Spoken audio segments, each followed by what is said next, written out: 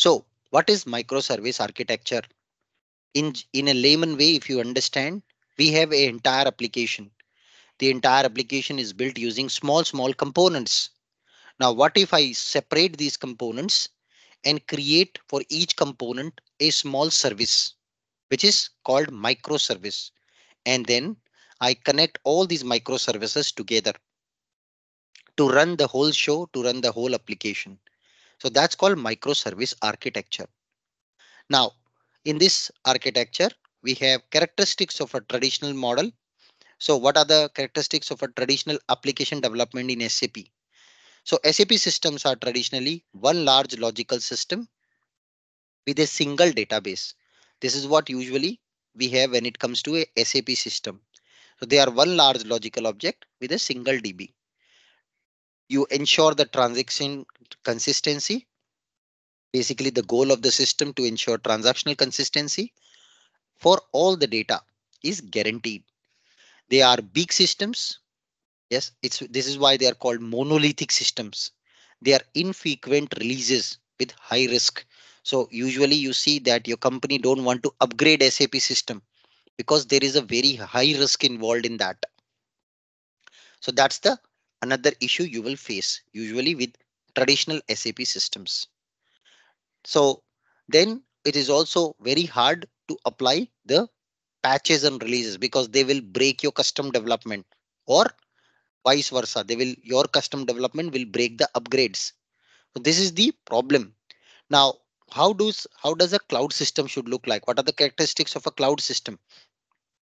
So uh, they are hard to apply cloud requirements so the traditional erp system what you have in your company you cannot achieve cloud requirement with them now they are also known as monolithic architecture so monolithic must be built tested deployed and scaled as a whole.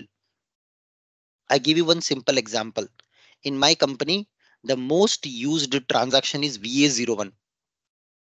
VA01. The second most used is ME21N. And the third most used is BP, business partner. These are the three transactions my company used the most. But in SAP in total, there are, let's say 12,000 transactions. if my manager say Anubhav, our SAP system memory size is 100 GB. Can you allocate 30 GB to VA01, 20 GB to ME21N, and 10 GB to BP, and remaining remaining 40 GB to rest of the transactions which are not used much. So we get very good performance with business partner ME21N and VA01. Can you do that? Is it possible today in your SAP system that you allocate more memory, more resources to an individual SAP transaction code to run it faster and better? You cannot. You cannot. That's the problem of a monolithic architecture. In a monolithic architecture, you build the entire system as a whole, test it as a whole, deploy it as a whole, and scale it as a whole.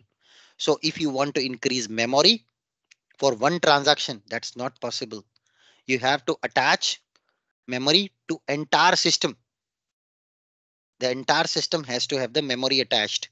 That's the problem of a monolithic architecture. Now, vertical scaling is limited and the cost is non-linear. So vertical scaling is very limited and cost is non-linear. You cannot say that a particular module or class or a program can run fast. Cannot. If you want, you have to attach memory, allocate more computing power to the entire system, to the entire hardware. And then also there is no guarantee that you'll get a good performance. Systems are oftenly poorly utilized like dev test non-peak time. So when in the night, let's say you're you're an Indian pure Indian startup, you implemented SAP now, all the employees are working during Indian working hours. In the night, almost hardly one or two people are using. So in that case, you have you have logged in into let's say 500 GB memory, 500 GB RAM system. Now in the night, nobody's using. In the morning, everybody's using. And now since everybody's using at the same time, you have to have high memory. So you attach let's say 500 GB more. Now you have total 1 TB memory. But in the night, nobody is using. So you cannot reduce down the memory. You cannot unplug and plug the RAM at different time. So systems are poorly utilized. Whether people are using it or not using it, the systems consume the equal amount of hardware, what it intended to do. So that is another disadvantage of monolithic systems. High availability uh, availability setup require double infrastructure. So suppose you want like a fail safe mechanism. If my one system is down, I want to have another system which can take care of the work. Yes. So for that, you need to double your infrastructure. You have to buy more server, more memory, more hard disk, more RAM, more motherboard. So you have to almost double your investment to basically achieve a high availability. These are the disadvantage of monolithic architecture or today's SAP systems. So what is the solution? The solution is using microservice architecture and cloud approach. So microservice architecture is an approach to develop a single application as a suite of small services, each running in its own process and communicating with lightweight mechanism. So you will break down your entire application small, small pieces. You can see this diagram. This is one microservice. This is another microservice. This is another microservice. This is another, and they're communicating. These microservices are communicating with each other through lightweight mechanism, often REST API. So you saw last class when we created a backing service in BTP account, it actually created a service. Yeah, a service.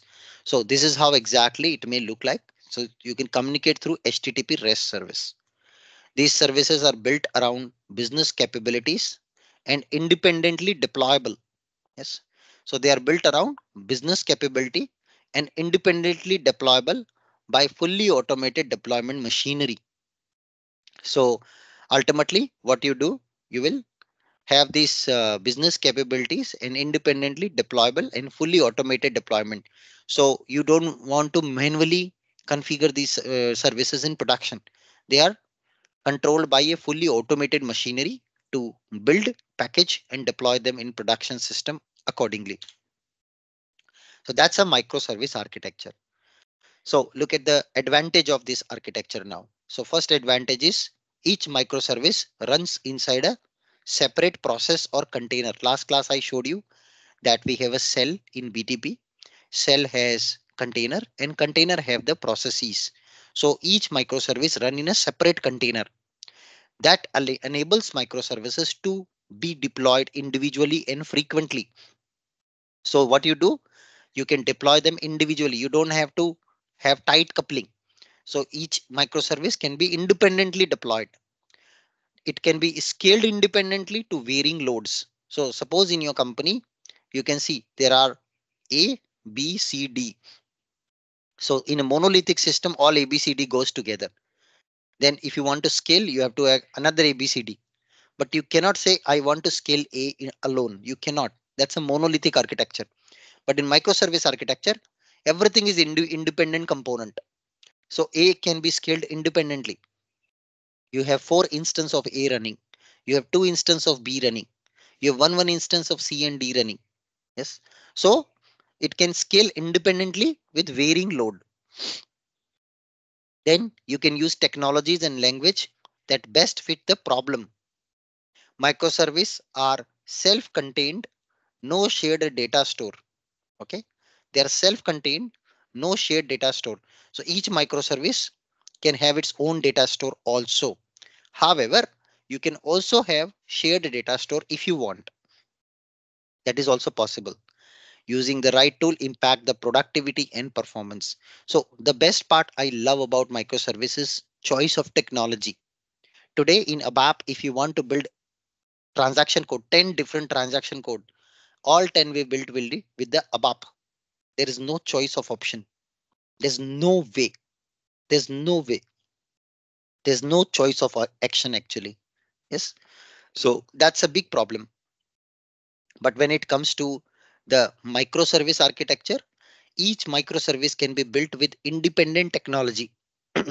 Whatever best you feel from each of the technology, you can build microservice with that.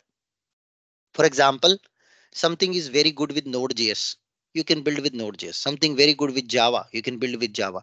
So each and indi individual microservices are built using are built using their independent technologies. So you can build each microservice with different different technologies what you want. So let me give you an example, practical example of microservice from real industry. So what happened in industry? In industry, there is, if you heard about Uber, how Uber changed their architecture in 2013 to microservice architecture and how did they got advantage with that. So let me explain that really quick with a practical example. What you just saw was a theory. Let's understand a practical example. So Uber earlier had this monolithic architecture. Now, what are the components of a Uber? Uber application all of you used at least once to book cabs. So it has different different components. Uber have a passenger application.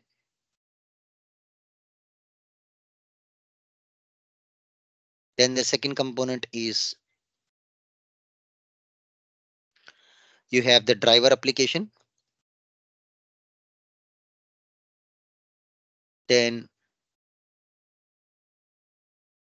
you have the location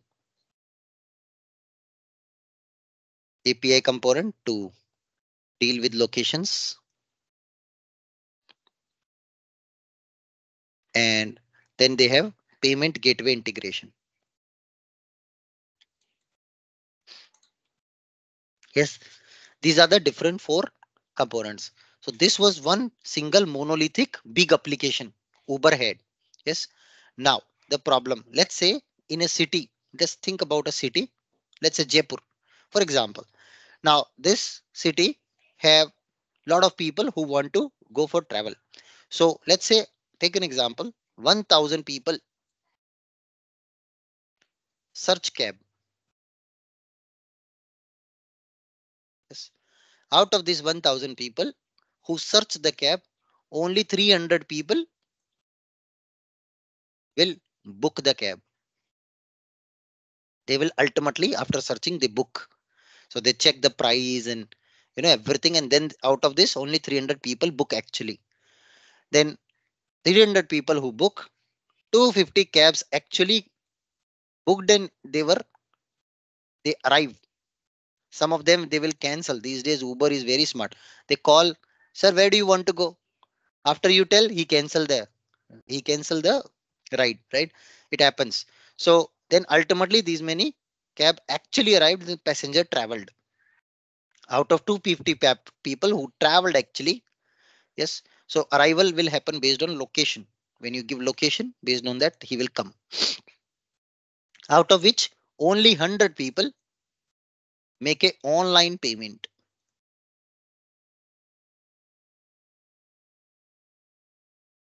Yes, this is the Uber user behaviors.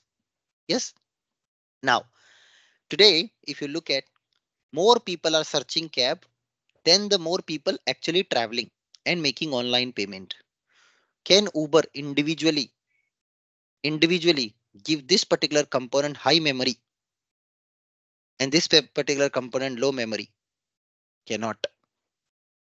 If you think about building four transaction in SAP code, yes, can you give this transaction code higher memory consumption so that it runs faster for users? You cannot.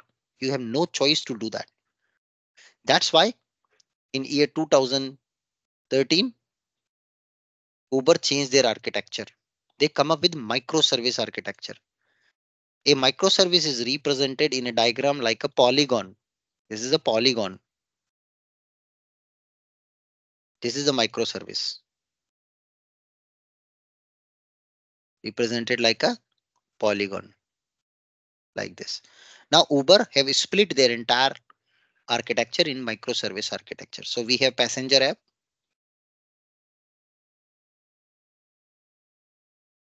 We have driver app. We have location API. We have payment integration. We have these many components of our application. This is our microservice architecture. Now, each component, first of all, can be built using different technology. Like passenger application, they want beautiful UI experience.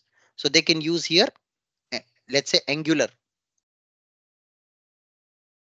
For location API, they can use Google API or Google's Go language. For driver app, they use React JS or let's say SAP UI5. For payment application, they use Java. That's a first advantage. Each component, each microservice can be built using different technology, which was not possible earlier in monolithic architecture. This is monolithic. And this is microservice. Yes. So now each of them can be built using different technology. Each of them can have different memory consumption because they are independently deployed. Each of them can be scale up and scale down. I can say maximum number of uses will be for passenger application. So I will allocate 100 GB into five instance of this application. Each instance have 100 GB capacity to handle the load. Then book. For this, they will actually do the booking with the driver will accept the booking. So for this, I'll give 50 GB with three instances of the application, three parallel instances with load balancing. Arrival location API. I just want 20 GB with two instances of application and I want 100 GB with just one instance of payment API because it's very less. How many people actually looked versus how many people actually it's just a 10%. So why do I need to give so much memory for this guy? I can just give 10 GB with one instance should be enough. 10% of this size. So this is what I can control now with the microservice architecture. With the microservice architecture.